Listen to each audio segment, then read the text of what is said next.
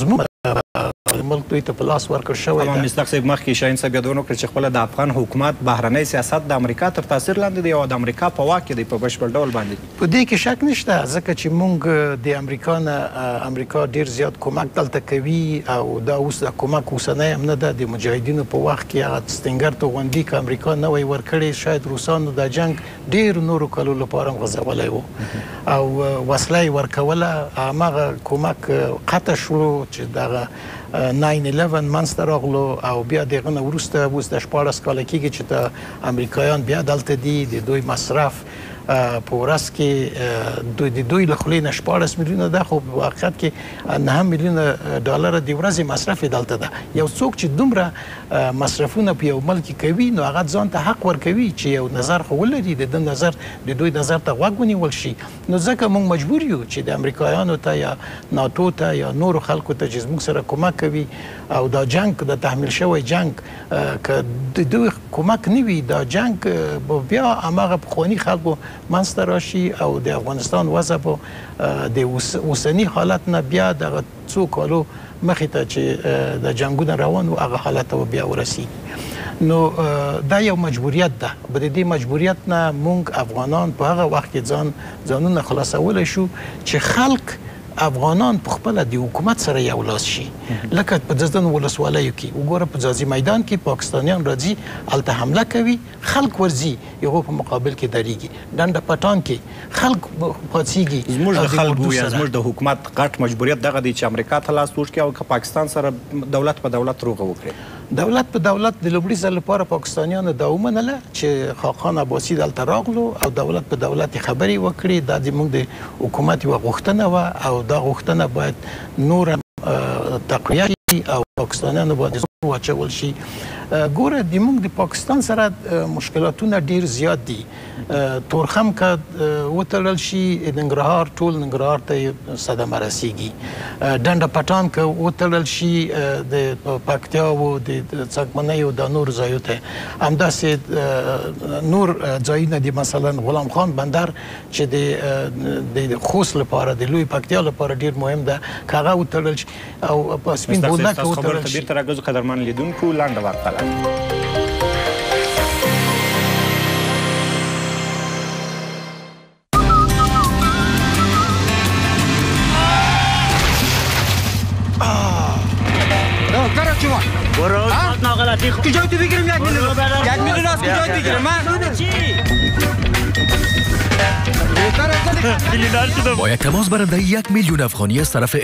انرژی بیگ بیار شوید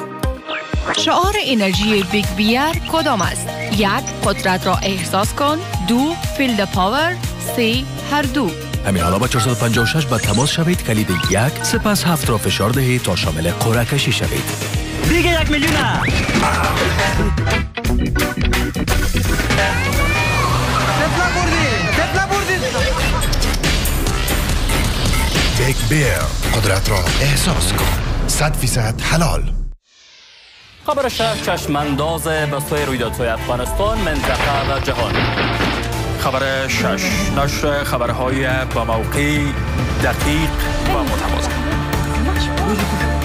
طلوع نیوز پایگاه خبر افغانستان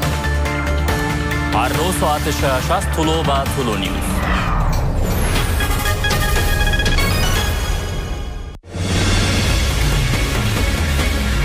ما در کشور زندگی می کنیم که هر لحظه آن گواه رویداد است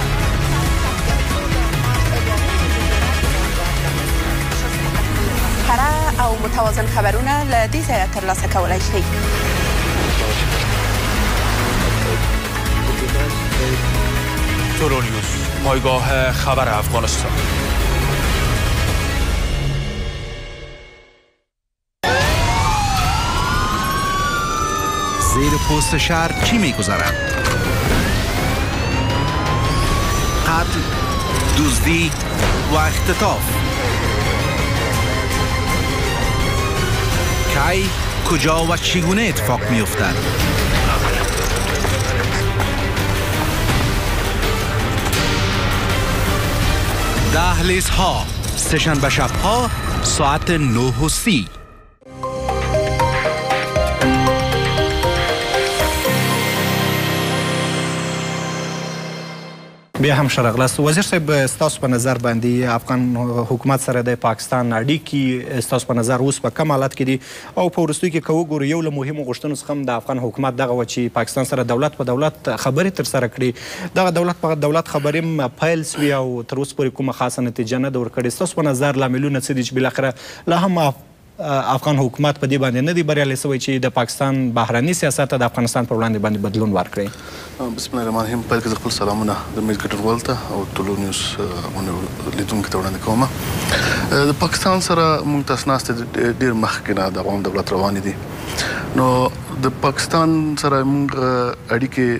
هیڅکله هم نه ښه کیدای شي. کومه ورځ نه چې د پاکستان لومړی وزیر افغانستان ته راغلی و، په هغه ورځ موږ تاسو دې شاهد یو چې دوی په ځاځي میدان ولسوالۍ کې برید وکړ، نو دا خپل د دې څرګندونه کوي چې پاکستان هیڅکله موږ سره صادق نه ده او موږ سره موږ دوی اړیکې نه شي ښه کیدای. د هغې ترڅنګ بیا په دشت پټان کې هم برید وکړ، نو زه دا لیدنې د افغانستان دولت، د خوا نه چې د پاکستان سره کیږي موږ په دې سترګه ورته ګورو لکه څنګه چې پاکستان د نړیوالو د خوا نه پاکستان باندې ډېر فشارونه دي نو افغانستان دولت یا د کوم وحدت ملي دولت چې دا حکومت چې دا دوی غواړي چې نړیوال ته داسې وښيي چې موږ د مذاکره یا موږ د مذاکرې دروازې هر کله د پاکستان په مخ خلاصې دي نو پاکستان باندې ورځ تر بلې فشارونه زیاتېدونکي دي موږ هر کله لېوالتیا ښودلې ده موږ هر کله پاکستان ته ورغلي یو موږ مشران ورغلي دي کرزی هم تقریبا شل وار نه زیات ورغی پاکستان ته دغسې د موږ چارواکي ورغلل د ولسي جرګې غړي هم ورغلل نو د هغه خوا نه هم ډېر استازي راغلل نو اصلي هدف د دغې لیدنو نه دغه ده چې دنیا ته نور هم په ډاګه شي چې پاکستان خپل بهرني سیاست کې د پاکستان سره صادق ده او موږ هر کله دوی سره مذاکرې ته تیار یو او دوی سره کینو خبرې کوو چې هدف مو دغه د لاسته راوړنه په دې غنه ناستو نه دغه ده چې نړیوال په دې پوه سي چې موږ هر کله دوی سره ناست یو او دوی ته خبرو کې خپل خبرو کې صادق یو مذاکرات کې صادق یو خو دوی هیڅ کله موږ ته صادق نه دي پاتې شوي لکه څنګه چې یو وارې بریتانیا، چین او امریکا دا پریکړه وکړه چې موږ په منځګړیتوب یا زموږ د څار لاندې به افغانستان او پاکستان به کینی خبرې به کوي لکه په افغانستان حکومت وویل چې په د ډیورن کرغنې غاړې هغه خواته چې کوم تورستي ځالې دي مثال پاکستان نه خي ځکه پاکستان هغه جوړ کړی دی او هیڅ کله دنیا ته نه وایي چې دلته تورستي ځالې دي موږ به په هغه باندې کار کوو او دغه به پاکستان سره شریکوو څه پر دې باندې قانع کړي او نړیوال مخکې جین صاحب اشاره وکړه چې خپل امریکا نه غواړي چې په افغانستان کې د افغانستان او پاکستان ترمنځ دغه جګړې ز معضله چې پاتې ده دغه حل سي نو بالکل دوی نه غواړي ځکه دوی ځکه نه غواړي چې دوی افغانستان نه اسکلن غواړي چې یو سوکاله یو آرام هیواد اوسي او د هیواد پرمختګ وکړي دوی هر کله غوښتلي دي چې افغانستان کې باید دوی لاسوهنه ازاده یي نو دا پاکستان د کوم صدق نه ده دغه زمينه خپل حکومت ورته مساعده کړې دي چې دوی په ازاد ډول باندې دلته لاسوهنه وکړي کو څه به حکومت ځنه وایم مساعده کړې ده خو مقصد تر کومه بریده پورې حکومت پړ ګړنګل حکومت په دې پړ ده چې حکومت نه دي ونه توانې د په دومره کلو کې خپل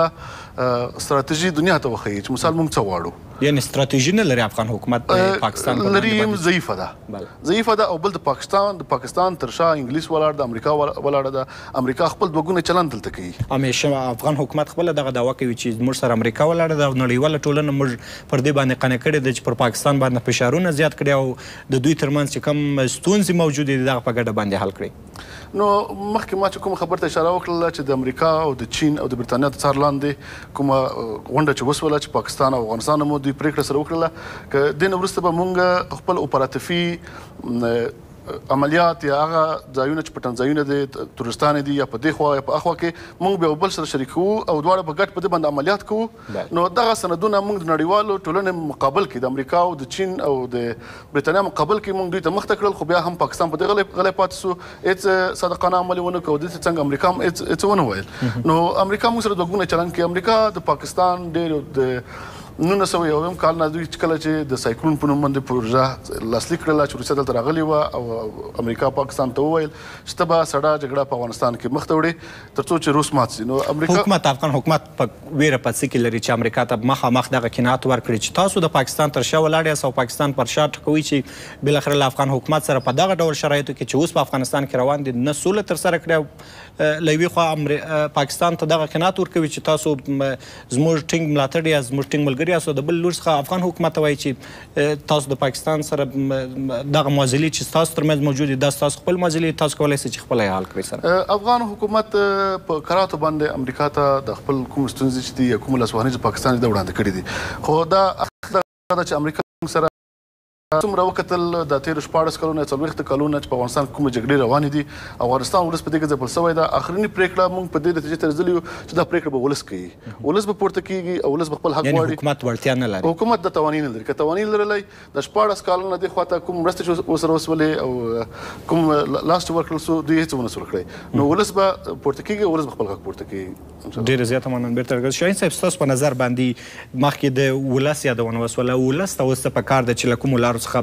بالاخره کار واخلي تر څو د هېواد برخلیک په اړه باندې مسؤلانه پرېکړه وشي تر څو حکومت هم په دې باندې بریالی کړي یا په په درست ډول باندې د حکومت ملا وتړي یا حکومت دې ته جوړ کړي چې بالاخره امریکا ته دغه قناعت ورکړي چې د پاکستان پر وړاندې باندې په ګډه باندې هڅې تر سره کړي څو په افغانستان کې امنیت رامنځته کړي ګورئ ملت ډیر څه کولی شي ملت هغه څه دی چې حکومت هم د همدې ملت نه جوړ دی، نظام هم د دې نه تشکیل دی او دغه خاوره هم د دې ملت د پښو لاندې خاوره ده. دوی چې څه وغواړي هغه پرې کولی شي. اوسني وخت کې ستونزه په ملت کې موجوده ده او که په حکومت؟ ستونزه یې زه درته وایم د افغانستان ملت ته دې حده پورې ځورېدلی، کړېدلی، دردېدلی، وژل شوی، زخمي شوی، دربدر شوی ملت دی چې هغه بېرته د راپورته کېدو توانمندي نه لري، دا يو مشکل دی. دوهم مشکل، په خپلو زمامدارانو باندې هېڅ نوع باور نه لري چې د هغوی په خوا کې ودرېږي او د هغوی ملاتړ وکړي. دې زمامدارانو د دې ملت لپاره هغه څه نه دي کړي چې دا ملت راپورته شي او په دوی باندې دې غيرت وکړي. که چیرته په سرحد باندې جنګ ګټل کیږي د موږ په جنوب شرقي ولایت کې که جنګ ګټل کیږي دا جنګ حکومت نه دی ګټلی دا د هغه منطقي خلکو ګټلی دی دا هغه خلک راپورته شوي دي کنه دا جنګ خو په بولدک کې دی په بولدک کې ول نشي ګټلی حکومت دا جنګ خو په کونړ کې دی په کونړ کې ول نشي ګټلی ځکه غلطه خلک د توانمندي توانمندي نه لري چې د دې جنګ کې عملي برخه واخلي او په حکومت باندې په عین وخت کې په دې حکومت باندې دومره هغه هم نه کوي حساب هم نه کوي چې راپورته شي او په دې باندې غیرت وکړي که چیرته د افغانستان خلک په متواتر شکل باندې نه وای ځپل شوي دوی دوی به دا کار کړی وای چې راپورته شوي به وای دلته به د خلکو په خوښه باندې یو منتخب حکومت قایم کړی وای او کله او دوی به خپل باور ورته بښلی وای واقعي باور اوس خو په په یعنې ټول په درغلیو باندې راغلي خلک دي کنه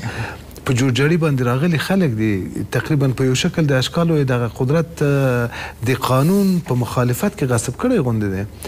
که چیرته په واقعي توګه باندې موږ حکومت درلودای، د د د د ولس ممثل حکومت هم درلودای، په هغې صورت کې ولس هر څه کولای شوای او ولس دغه اوس هم هرې قربانۍ ته تیار دی، هرې قربانۍ ته اماده دی. دا اوس هم که په ولس باندې صادقانه غږ وشي چې تاسې سوله راولئ،